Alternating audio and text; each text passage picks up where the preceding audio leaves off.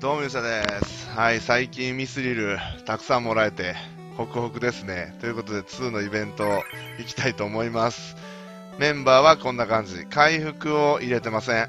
回復は延期道とヨーゼフの超必殺で賄う、賄おうと思ってます。はい。で、えー、どうしようかな回復系でもいいんですけど、まあ、一応壁にしとこうかな。やっぱ便利ですから。ウォール・オブ・ゴッドをチョイスします。さあ行きましょう。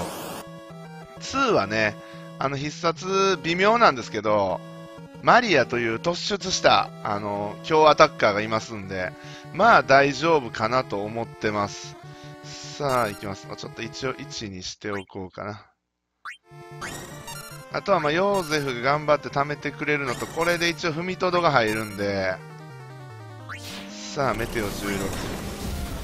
一応魔力を上げないと、共鳴はしてるものの、6発、バービが6発出ないと思うんで、一度は、右の、バービの右を使いたいと思います。就活。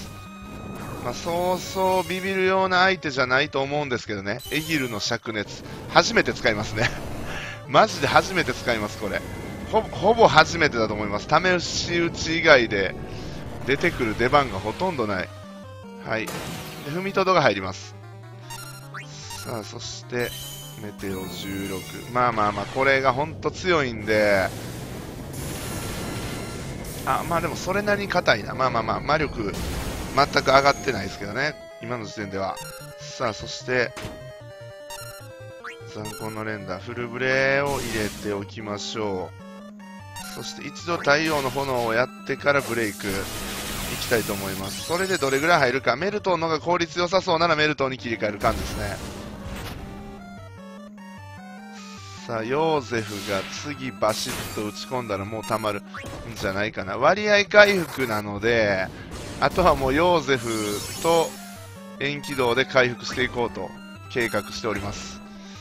ペナブレ打つか。さあ、ブレイク。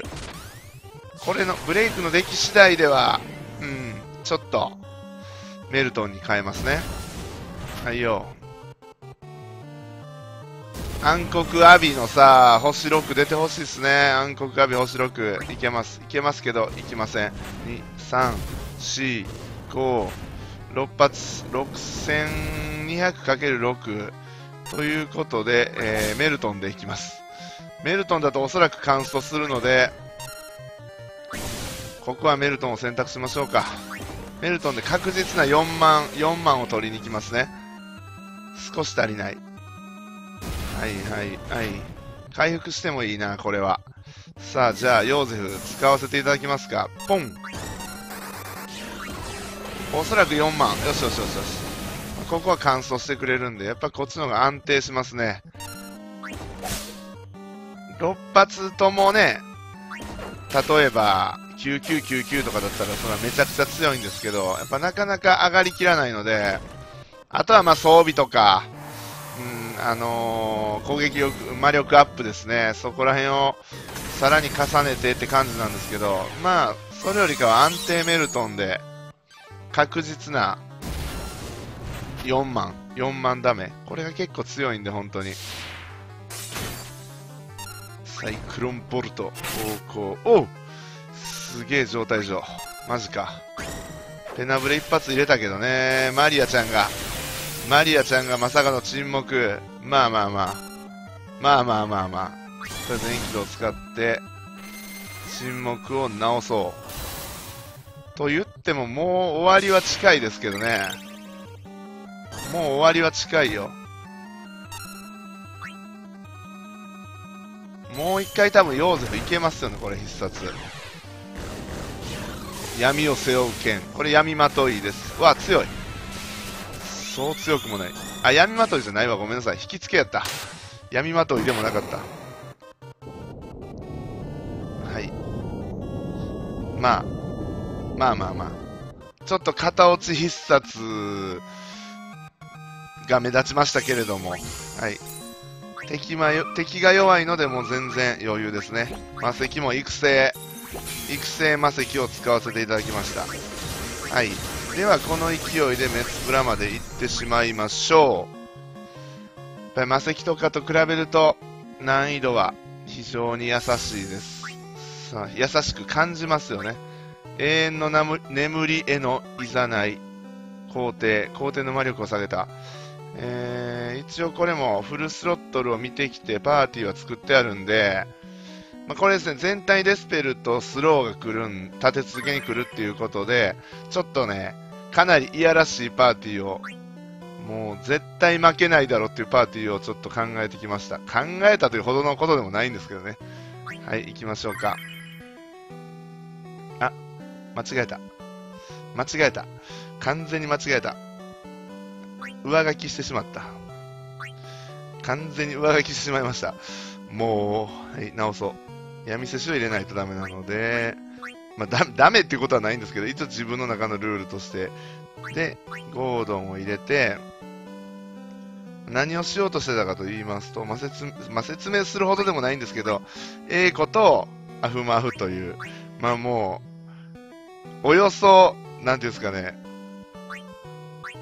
真面目に戦う気がないと言いましょうか、向こうからしたらめちゃくちゃ嫌なパーティーになっております。なんで、で、まあまあ一応、戦略はもちろん、向こうが何かをやってきたら即それを入れて、すぐに状態を立て直すと。で、えー、プラスまあマリアが火力あるんで、マリアと闇セシで押すって感じですね。アフマウは、確かエースストライカーにしてたのかな。で、A 子が開幕レコマテ持ってたと。まあ、あんまり焦る必要はないかなと思うんで、ちょびちょびダメージ与えていって、ダメージ食らってから、ヘイストを発動していくと。で、A 子に関してはもう回復役じゃなくて、攻めで、あのー、アビリティは召喚持ってきてて、魔力上げてます。なので、一応アタッカーとしての役割を果たしてもらおうと思ってます。はい。そしてまた壁を使います。まあ、壁もありますしね。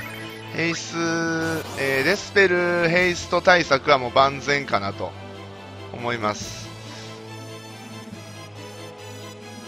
踏みとどもあるし、全然怖いもんなしかな。永遠の命が欲しくはないのか。いらねえよよし。一応壁は張っときたい。一応壁は張っときたいと思う。メテオ16、そして就活。最初が怖いですからね、やっぱ。はいよ。で、生属性弱体化してくるはずなんですけど、まあ、あんまり気にせず、そこまで気にせずいこうかなと。柔らかいな。え、結構柔らかいな。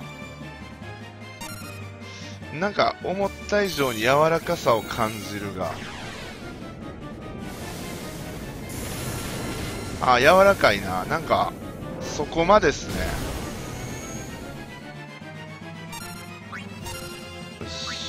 レル2そしてバリガルマンダはいいいよブルブレバリガルマンダどれぐらい入る？弱い。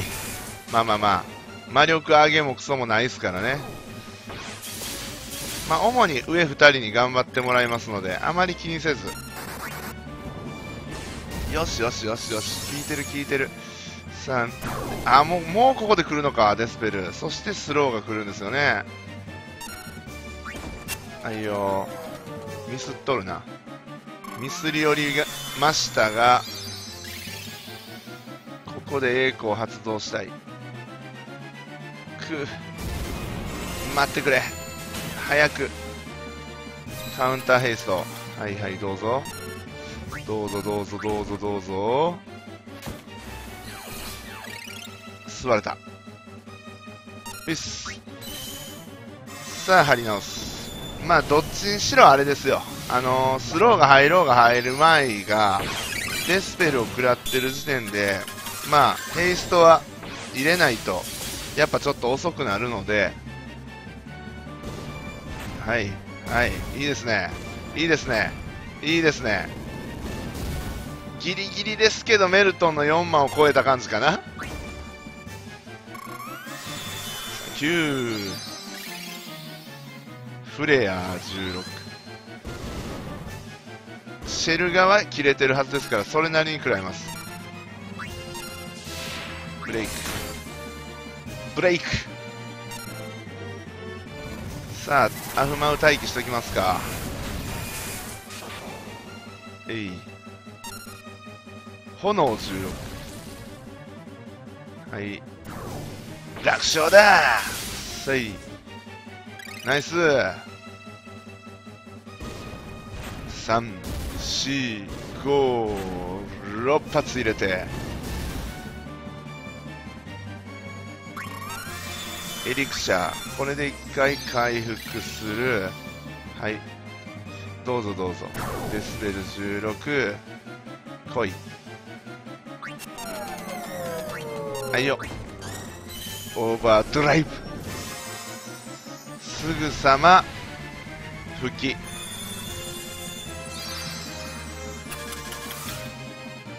これがほんま強いですからね。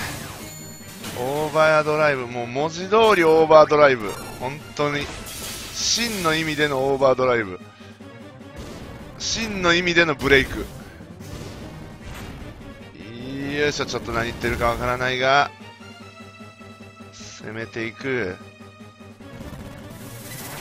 ナイスナイスナイスナイス。まあ、貴重なね、貴重なダメージ源ということで。さあ、速攻動いて、ゲージを貯めときましょう。エギルの灼熱。シェイ、シェイ、シェイ、シェイ。全然効かんな、これは。まあ、これ弱いですね。まあ、まあ、補助系ですから、踏みとどが入りますから。まあ、これは弱い。はい、イビルブレイド打ちますよと。そしてトライディザスター。はい、はい。イビルブレイドあんま入らんやろなそこまで入らんやろな2炎16今日炎16はいそこそこ食らいましたよとバハムート打ってこれで A コのゲージがたまりますね。さあイビルブレイド。引き抜けい6万7000よしいい感じに追い込んでる。もう少しもう少し。あとメルトン2発ぐらいとクリムゾンクロス1発ぐらいでいけるかな。ここは踏みとどまっていく。メガフレー大して効かないクリムゾンクロスブルブレうわ弱っえなんで？急に、ああ、そうか、魔力を大幅に下げられてるのか。なるほど。あんな下がるんすね。あそこまで下がるのか。なるほど。ゴードンが死んじゃいましたが、喧嘩続行。よし、回復して、クリムゾンクロス。もう戻ってるっぽいですね。あの一瞬やねんな。よし決めますか氷16食らうねめっちゃ食らうなこれは壁がなくなっているということを意味するのかね。ですね多分。闇瀬氏のゲージ的に苦しいな。しかし攻める。もう落としてしまいましょう。よし。よし。強引に行きました。即時ヘイスガーはやっぱりすごい便利です。うちのこの両巨頭。守りの栄光攻めのアフマムということで、まあ、ちょっと両方とも投入してみたんですけどまあ強いうんド安定ですね回復バーストなしでもこいつら2人でなんかあの攻撃と防御の両方担うみたいな。この白2枚結構好き。はい。やっぱあの、タイミングよく回復できるっていうのが一番いいですよね。プラス踏みとど。踏みとどとタイミングよく回復するのの相性がすごくいいので、はい。まあ、余裕でクリアできました。はい。また、えっ、と、フルスロットルの方はですね、もう多分簡単なので、さらに簡単になると思うので、もう自分でクリアしておきたいと思います。わざわざ動画にするようなものでもないと思いますので、はい。言っときたいと思います。では、えー、2イベントクリア見ていただいてありがとうございました。